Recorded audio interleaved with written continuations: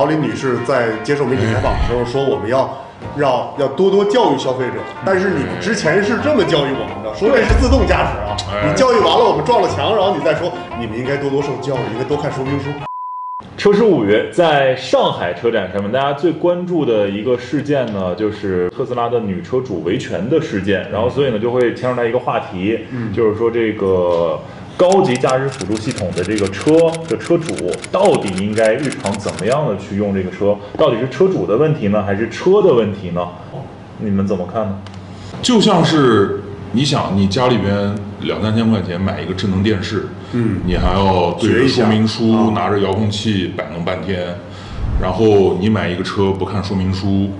不大合适。关键是什么？就是说明书这个问题啊，实际上是厂家的责任，就是厂家有义务去造一款好用的车，同时在说明书当中用简单的话语告诉这个车主正确的操作方式。对，但是现在的车企是怎么做的？咱们就说特斯拉，嗯我每次去看的时候，销售顾问一定会给我介绍，我们这个车有自动驾驶，自动驾驶，然后还会说我们的自动驾驶比别的车更高级，你完全不用管它，小白也能开，对这是他们的话术，我去过很多次都是这么说的。对所以我想说。功能是越来越好用的，车是越来越好开的，但是一定是对于一些小白用户来说，它是有误导的。而且就是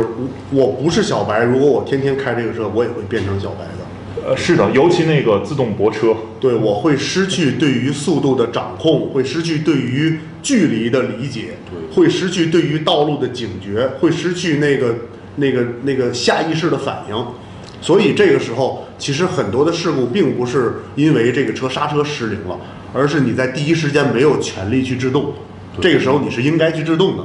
对吧？当然，我们不是说那起事件是因为这个，啊那起事件有关部门会调查，对对吧？但是我觉得，呃，说这个事儿，说消费者需要教育，我觉得这次的事件是消费者狠狠的给特斯拉上了一课，教育了你，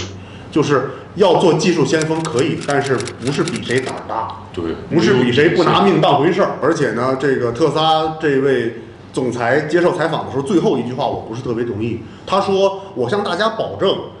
这个智能汽车一定比传统汽车更安全。”我觉得这个话你得分怎么听。对，因为他可能会觉得，当特斯拉的自动驾驶系统已经发展到足够发达的时候，车是不可能互相撞到一起的，那个时候就大家就安全了。但其实真的不是这样的。当你自己的培养的驾驶习惯，你多年建立起来的这种老司机的这种意识，逐渐的被这种智能驾驶系统所淡忘、所钝化的时候，其实这个车真的不如你以前开一个夏利更安全。真的，真的，嗯尤其你像举个最简单的例子，就是手动挡的车，你要是误操作，它就熄火，它就不动了，失去动力。虽然失去动力也很危险，但是你在低速失去动力，你会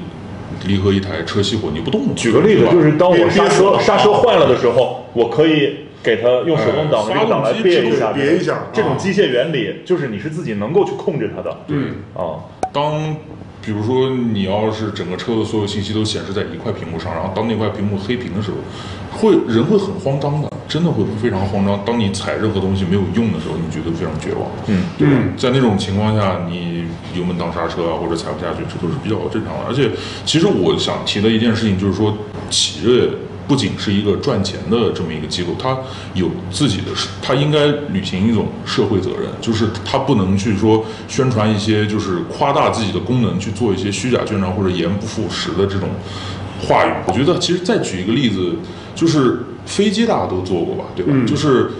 天空之中，它的那个交通状况其实非常简单，不会有外卖小哥，不会突然窜出来狗，不会有三轮车，不会有逆行的这个乱七八糟的东西。嗯天上就是飞机跟鸟，嗯对吧？然后就是这么简单的一个场景，一定要在起飞跟降落的时候，